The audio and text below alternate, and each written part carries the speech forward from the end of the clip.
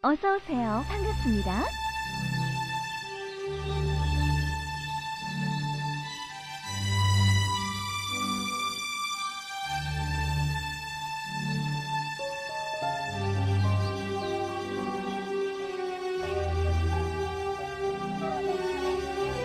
봄이 오면 나는 이해인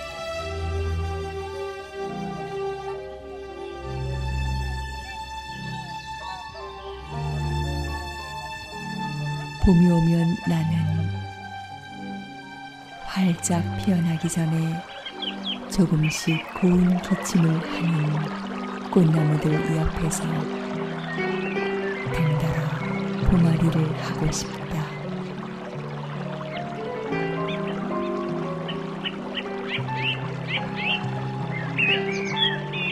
살아있음의 향기를 온몸으로 피어올리는 꽃나무와 함께 나도 기쁨의 잔기침을 하며 조용히 깨어나고 싶다.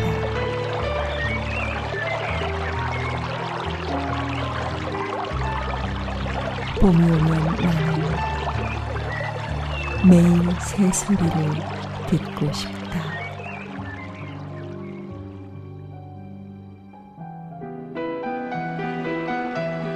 산에서 바다에서 정원에서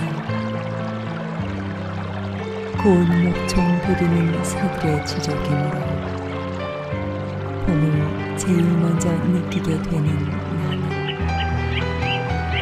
바쁘고 힘든 삶의 무게에도 짓눌리지 않고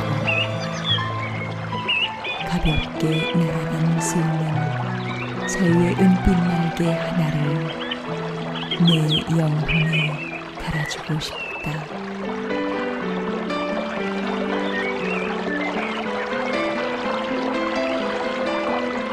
봄이 오면 나는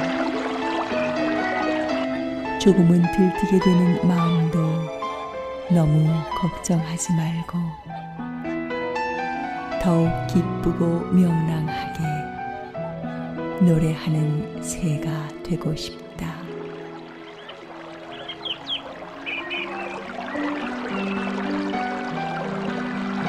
봄이 오면 나는 유리창을 맑게 닦아 하늘과 나무와 연못이 잘 보이게 하고 또 하나의 창문을 마음에 달고 싶다.